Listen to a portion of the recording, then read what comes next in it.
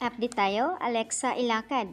Congrats dahil po ay napasama si Alexa sa Best ah, Drama Supporting Actress nominee. Dito po sa Init, ah, Init sa Magdamag.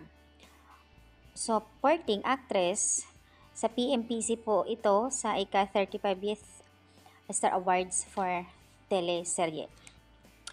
Congratulations, sana po pala rin manalo si Alexa dahil po ay kasama po siya dito. In fairness naman, sa dami-dami nilang kasama dito, halos kasama ni Alexa mga veterans na mga actress. Siya po yung nag-iisa lang dito na talagang new generation. Bata pa, napasama siya. Sana nga magwagi si Alexa. Nakaka-proud lang. This beautiful and humble stay, baby. The youngest nominee for the best drama supporting actress. Wow. Pero still very proud manalo matalo man. Dahil sa dami-dami at least si Alexa napasama sa nomination achievement na rin yon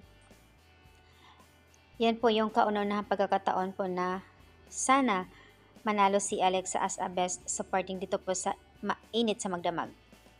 At nakapost naman dito kay Mother Lily. Ayon sa kanya pag nanalo ba si Alexa first acting award niya ito?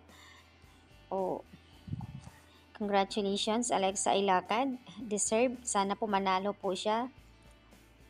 Mga bigatin po, mga makakalaban niya dito.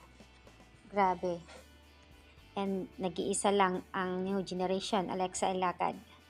Praying po na, sa mana, na sana manalo ang ating best girl ayon sa isang netizens.